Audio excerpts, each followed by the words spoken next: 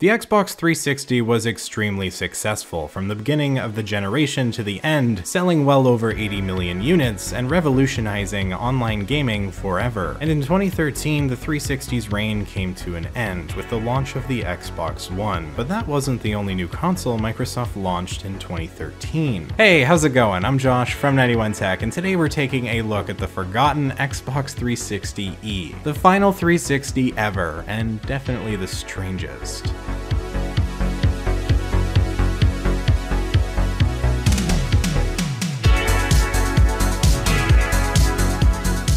You'd be forgiven for mixing this 360 up with an Xbox One, because it looks nearly the same. I'm not really sure why Xbox took this approach. I think there's a good chance they did it in an effort to help unify their lineup. The Xbox One was so called because it was supposed to be your all-in-one entertainment unit. From games to TV to streaming to you name it. Not quite the same thing, but Xbox making a 360 that looks similar kind of fits the theme they were going for. And Microsoft wasn't unique in making a radically different look for their older system system, as Sony did the same thing around the time of the PS4 launch with the PS3 Super Slim. But that one actually kind of made sense. It was a cheaper, more plasticky version of the PS3, and served as a budget option for those who wanted a PlayStation but couldn't afford the PS4. The Xbox 360e was revealed at E3 2013 alongside the Xbox One, and the day of the announcement, it was made available for purchase. It was told that the console would be smaller, sleeker, quieter than the Xbox 360S. It came in at a price of 199 for the 4GB model and 299 for the 250GB model, or 299 for the 4GB model and the Xbox Kinect. Don't forget this is back in the days when the Kinect was extremely relevant and a huge part of Microsoft's plan moving forward. While Microsoft talked a big game with the 360e, it actually made basically no improvements over the S. It's slightly smaller, but beyond that, really all you get is a newer design and lose a good few connection ports, including a single USB because who knows. One positive change, at least in my opinion, was the replacement of the touch buttons. So on this console you physically click the power and eject buttons, whereas on the S you just uh, activate it by touching it. Now I'll admit, back in the day when my friend had an S model 360, I thought the whole touch thing was kinda cool, but in hindsight I do prefer the physical buttons and I think there's a reason both Sony and Microsoft don't use the touch ones anymore. This was the last Xbox to ever have a pop-open disk drive, interestingly enough, with the Xbox One moving to the more typical slot loading disc tray that kind of just magically sucks in your game. I do remember this Xbox being announced. I would have been about uh, 13 years old or so, uh, June 2013, yeah, 13 years old. And I thought it was pretty cool, like pretty cool looking. I, I liked the look. I was just not sure why it was the thing. And uh, now in hindsight, I don't think it looks bad, but it definitely doesn't have the same feeling of an Xbox 360. It looks like a different console. Well, I mean, it looks like an Xbox One Lite that's what it really looks like. Or perhaps an Xbox One Mini, with glossy plastic on the left half and a grill venting design on the right, surrounded by a more matte black finish. The problem with glossy plastic is that it scratches and gets dirty much too easily. I bought this console used from eBay recently, and while it runs perfectly fine, it's certainly not in the best condition possible. Also, funnily enough, this sticker was left on here. It has a warning saying not to move the console while there's a disc in it, and while I was looking for a 360E, almost every single one I found still had this sticker on it, despite the fact that it's kind of an eyesore, people just don't remove it. I don't know why Microsoft even felt the need to have it on there in the first place, but the original Xbox One of course had it as well. And so what Microsoft did eventually do was put a little tab below it on the Xbox One S and X to encourage people to peel it off, which is honestly kind of hilarious in my opinion. But anyways, uh, this is the original Xbox One beside the Xbox 360e, and it's immediately clear just how similar they look. Well, technically this isn't the original original Xbox One, it's a slightly revised version that dropped the glossy plastic in favor of a matte finish, and it's definitely an improvement. It's still a ridiculously huge console, although nothing compared to the PS5, but it makes the Xbox 360e look tiny. And I mean, to be fair, the 360e is pretty darn compact, probably the best thing about the console. It's funny looking at reviews when this 360 came out, basically all of them had nothing to say beyond that it brought nothing to the table. Lots of conclusions telling you to wait for the Xbox One or to pick up an old older 360 bundle. And tons of complaints about the lack of Blu-ray drive too, which is fair enough. It's true, the Xbox 360E wasn't really special, and at the same price that the Xbox 360S was, you had to kind of ask, why? Who would buy this? It was definitely a tough sell, especially with the Xbox One right around the corner. $200 or $300 with a Kinect for a 4GB Xbox 360 was absolutely ridiculous. This was the internal storage. There was no included hard drive, and given this came out in 2013, we're not talking pre-2010 here, this is 2013, it's hard to excuse so little space. Microsoft, you really couldn't put more than 4 gigs in this thing, seriously? Now you might be thinking, eh, you know, it's not that bad, just don't download any games. But in 2013, even if you weren't downloading any games, 4 gigs was just not very much space. Halo 4, for example, was extremely popular and required users to have 3.5 gigs of free space to install the multiplayer at minimum. And why was it the next step up was 250 gigabytes? Why can't we have an 120 gig option in here somewhere? Actually, my 360E here does have 120 gigs. As far as I can tell, this originally was a 4 gig 360, but the previous user bought a aftermarket hard drive for it. I'm assuming it's aftermarket because there's no branding and it says made in China on the back in pretty bold writing. And I'll give it to Microsoft. It was really easy to install it. All you have to do is just push it in here on the side. The 4 gigabytes was ridiculous, but looking at this console from a modern lens is never going to give a fair impression. But you know what? That's okay, because we do have the power of hindsight, and a full generation of gaming to help us really judge how exactly this console stands isn't a bad thing. And even now, I don't think anyone would argue with me that this is probably the strangest, most pointless console Microsoft has ever developed, at least under the Xbox branding. I have to clarify that because if I don't, someone will probably argue that the Sega Dreamcast could fit, although I would strongly disagree with that. The Dreamcast didn't sell the best, but it was still a pretty awesome console. And yeah, did you know the Dreamcast used an optimized version of Windows CE and integrated DirectX? Microsoft's announcement of the partnership is actually still live on their website. Mind you, the Dreamcast didn't really use the Windows in a conventional sense, but it was used for certain things when booting up games and whatnot, and it was a cool idea because in theory, game devs could make games for the console as well as PC using the Windows-based tools they were used to. Mind you, hardly any developers actually took advantage of this, but it was still a neat idea and directly led to Microsoft making their own console and releasing the Xbox in 2001. Actually, in the early 2000s, interestingly enough, Microsoft seriously considered buying Sega, but of course, that never happened. But anyways, I think it's safe to say that the Xbox 360e is just strange. It's an Xbox 360 that looks like an Xbox One and never needed to exist in the first place. It was sold from 2013 to 2016. That's right, it actually wasn't discontinued until 2016, the same year the Xbox One S came out. What you'll notice is that the launch of the new Xboxes with the Series S and the X, there was zero revision to the Xbox One. In fact, as far as I can tell, the vast majority of retailers don't even carry the Xbox One anymore. Remember, the 360 was sold until 2016, so this shows a pretty clear shift in how Microsoft is going about things as time goes on. And I think there's one major reason for it. The new consoles are completely backwards compatible with all Xbox One titles, unlike the Xbox One in 2013 when it couldn't yet play any 360 games. They did start adding the limited backwards compatibility in 2015, but until then, if you wanted to play your favorite 360 titles, you would actually need an Xbox 360. That's probably the biggest reason Microsoft kept it around for so long. That, and I'd imagine it must have been selling at least decently well, but answering that doesn't explain why they had to update from the Xbox 360S. I mean, that machine was fine, it mostly solved the red ringing issues. All it really did was just look like the Xbox One. Part of me really wonders how many grandparents went into Walmart wanting to buy their grandkid the new Xbox, only to end up getting the Xbox 360e because from their perspective it looked the same, and it was cheaper, so win-win. Let's be real, that must have happened somewhere, and I would be willing to bet some serious money that it wasn't a super uncommon occurrence. Ultimately though, the Xbox 360e is an Xbox 360, just in a smaller shell of the Xbox One, and as strange as that is, I can't help but find the console pretty darn cool. It's not very useful anymore, in fact the 360 in general has quickly become obsolete in recent years, as the newer Xboxes have been able to play the vast majority of big 360 titles, with some exceptions, but it makes it hard to justify using a 360 anymore, because if you're already using a newer Xbox, you might as well just play the game on there. All in all, the Xbox 360e is one of the strangest consoles Microsoft has ever made. It's weird, and while I don't quite understand why Microsoft made it in the first place, hey, it gives me something to talk about in this video, and I'm not complaining about that. But with that, I think I'm about done here. Hopefully you found this video interesting, and if you did, maybe hit that like button and consider subscribing for more content just like this. You can follow me over on Twitter Instagram at 91 underscore tech. Thank you so much for watching. I really do appreciate it. This was a fun video to make, a bit of a journey down memory lane, even though I never had one of those when I was younger. It's still interesting, and uh, picking one up was quite a bit of fun. But yeah, uh, thanks again for watching. I'm Josh from 91 Tech, and I will see you all next time.